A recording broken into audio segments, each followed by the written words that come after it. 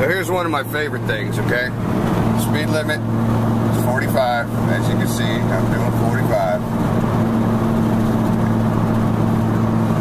All right, 47. Here we go.